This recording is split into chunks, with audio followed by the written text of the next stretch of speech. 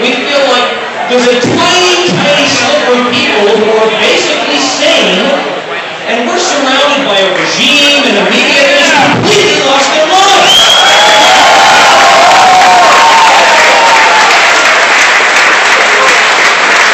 I mean, apparently, apparently it's morally okay to launch a war on the most absurd, transparent pretext, kill maybe a million people, displace four million people, and this is mainstream. That's a mainstream position.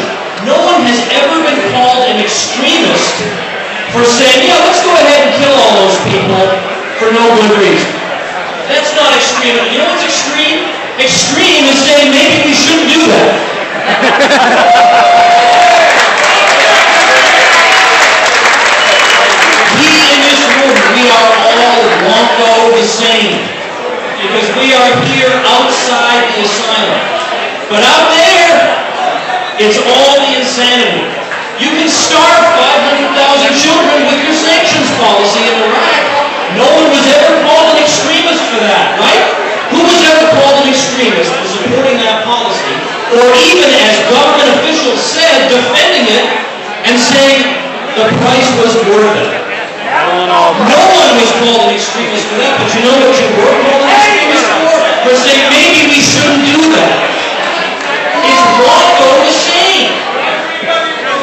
But here's my favorite example. Not the last debate, two debates ago.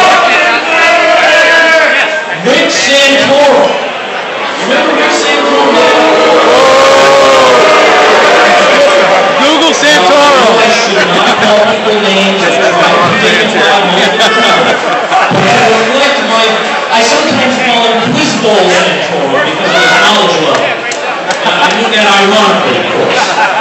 But Santorum and Ron Paul had this exchange on the subject of Iran. And Santorum says, oh, you know, they've hated us since 1979. And you notice that they have hated us for no apparent reason. Just one day they woke up and said, man, we hate those people. There's no reason for it. We're just irrational. So Ron Paul says, wait a minute, hello, I think it goes back to 1953 when the CIA helped overthrow their government. I might have a teensy to do. Now, if they simply liberated Iran from his government, that would be one thing. But they replaced it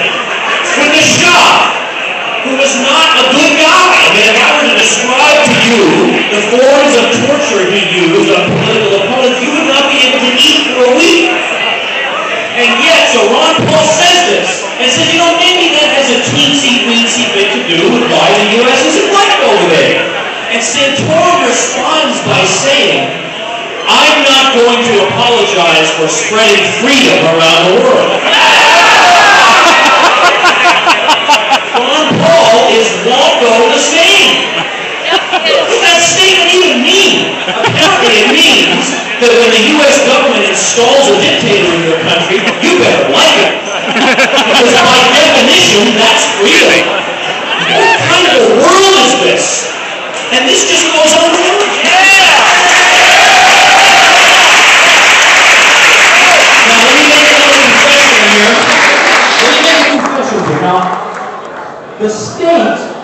Has a hold over our minds.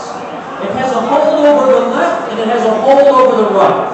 The left thinks that if it weren't for our wise overlords, we'd all be dead in a ditch and earning three cents an hour and eating poison food and all our consumer products would be exploding in our faces. And the right thinks, well, if it weren't for the regime, well, we'd all be speaking Arabic and all the rest, right? We all know that.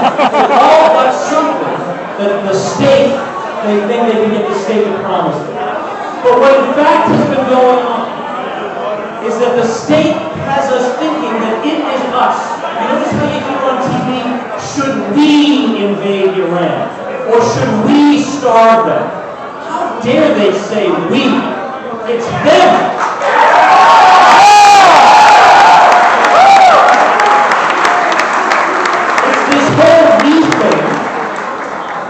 Dehumanizes us and dehumanizes them. Because it makes us think that war is like a big video game that I can watch on my TV. And isn't it cool to see all the U.S. flags all over the foreign country showing how the occupation is perceived? This is deeply dehumanizing and evil, and it's so easy to get caught up in. Americans accept propaganda from their government that if it came from the Soviet Union, they would have laughed at it. But it comes from the Pentagon, and they get down and worship. They, they go around looking for ways to defend the propaganda. It's very easy to fall into this, and in fact, have you noticed how the neocons think it's perfectly okay for us not to like Hillary Clinton and Joe Biden and Barack Obama? But heaven, but heaven forfend that the Iranians don't like Hillary Clinton or Joe Biden or Barack Obama. How dare they? America. How dare you not like us? I have a funny feeling that the Iranians have just as good a reason not to like Hillary Clinton as we do. Now, the confession I have to make is that for a long time, I too went along with this. The first time, I mean, I'm so embarrassed to tell you guys this. I guess the, uh, the alcohol is starting to have its effect. but the first conversation I ever had with my college roommate was to tell him how much we needed to go get Saddam in 1991. This is so important. We gotta go get this guy. He's threatening the world. This guy whose military budget is one quarter of one percent of the U.S. military budget. A dangerous threat to us all. I mean, he's deposing the emir of Kuwait, for heaven's sake. And I went for the whole thing until one day I realized I can't do this anymore because I, I was hearing these news reports about retreating Iraqi troops being burned alive, 100,000 of them, and then in the U.S. they're having a Bob Hope special to celebrate this. And I thought, even though I supported this war, a lot of orphans and widows have just been created. How can I celebrate this? How can I celebrate this? So I started.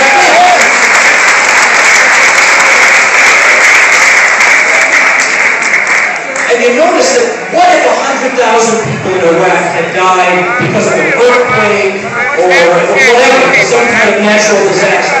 Well, then people would send money, we'd have telephones, we'd never hear the end of it, it'd be great. But if they die in a war, no one cares. They're just human garbage. Know, because that's them. It's not we. It's them. But them and we belong to the same people. That is the human freaking race here.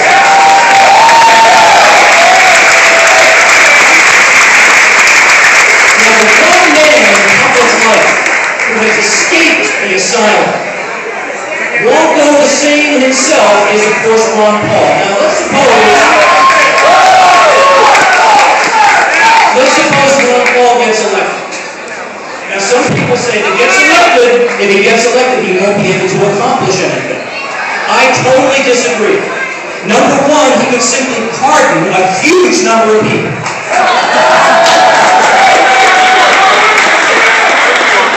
Number two, by executive order, he could repeal all the bad executive orders.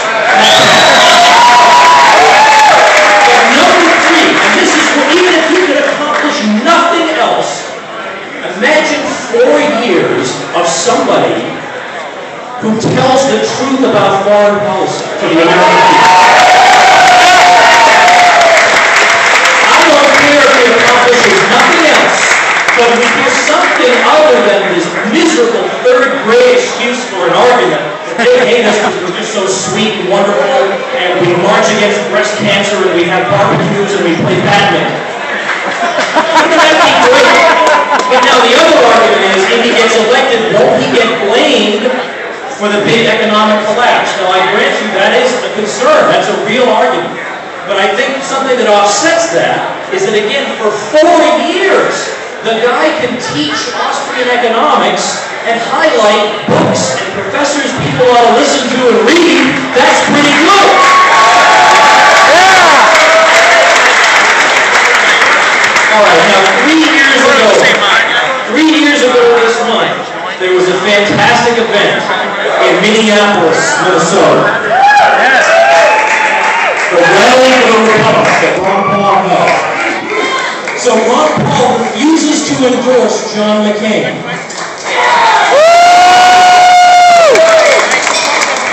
So they will not give him a speaking slot at the Republican convention, so he holds his own convention. I mean, come on!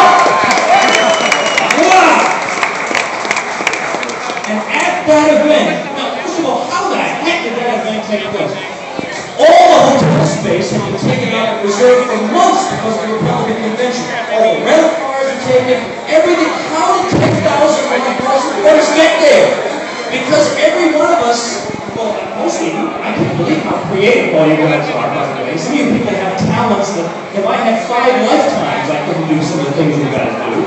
But we figured it out, and we made it happen, and at that event, Lew Rockwell comes out and mentions the name Murray Rothbard.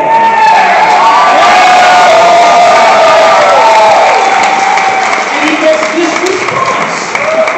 This is unbelievable. The Austrian theory of the business cycle was mentioned. Something is going on here. Something is going on because we've got a lot of dedicated people, but also smart people. Smart people, people who read and who listen to podcasts. And we like some of you guys are the sort who if you're walking down the street for 10 minutes, you think, I can't afford to waste these 10 minutes. So where's my iPod? So I can listen to some lecture. That's unbelievable. So here's what you gotta do. Don't keep this knowledge to yourselves, right? We've got to share this knowledge. And so here's one thing I want to urge you to do. If you're not already doing something, you're wondering what you can do, start a freaking blog, okay? Instead of forwarding all those emails to your friends, post about them and comment on them on your blog. And as you do that, you get to be a better and better writer. And that's a good talent to have regardless of what you accomplish. But secondly, do you realize how exciting a time we're living in for people who are interested in ideas?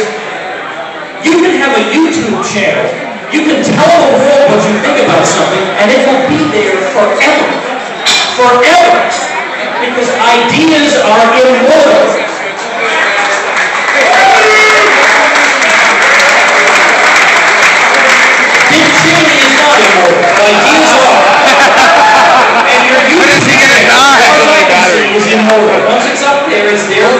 On that guy. And you just make a habit of it. Once a week, comment on something. You could be that link that brings somebody out of the darkness and the confusion of the asylum and into the light and the truth of freedom and peace. That is my challenge to you, everybody.